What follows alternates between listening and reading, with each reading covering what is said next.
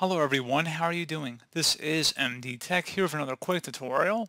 In today's tutorial, I'm going to show you how to resolve if your Wi-Fi settings are not showing in settings on Windows 11.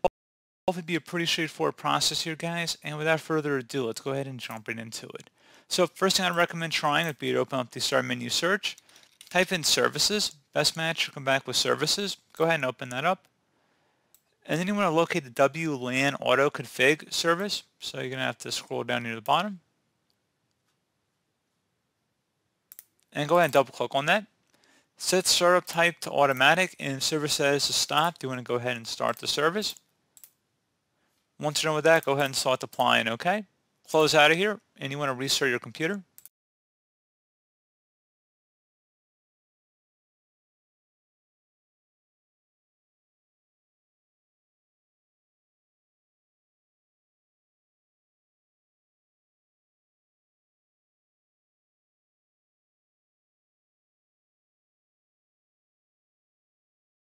And now once you've restarted your computer, check your internet, see if that has resolved the problem. If you're still having a problem, you can also try opening up the search menu, type in CMD, best result should come back with command prompt. Go ahead and right click on that and select run as administrator. If you receive a user account control prompt, go ahead and select yes. And now you want to type in NETSH space WinSock, W-I-N-S-O-C-K, space reset, again exactly how it appears on my screen here. Go ahead and hit enter on your keyboard. It should take successfully reset the WinSock catalog.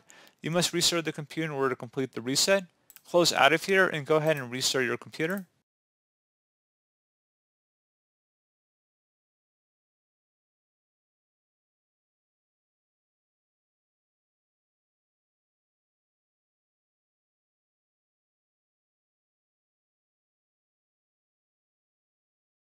And then again, hopefully I would have been able to resolve the problem.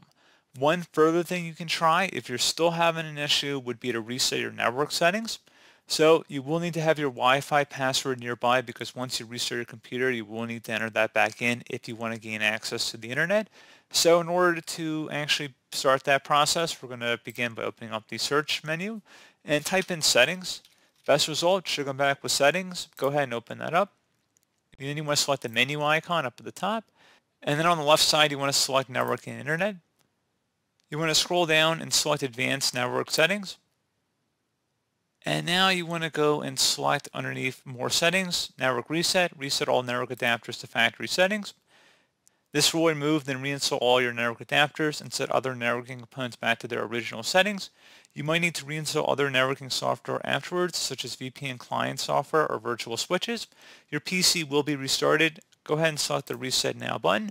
Are you sure you want to reset your network settings? Go ahead and select Yes. And click on Close and close out of here and actually restart your computer at this point.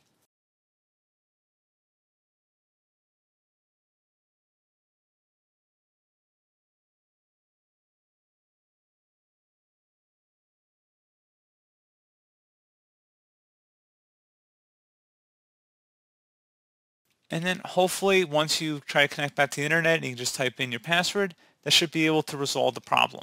So as always, thank you guys for watching this brief tutorial. Do hope I was able to help you out, and I do look forward to catching you all in the next tutorial. Goodbye.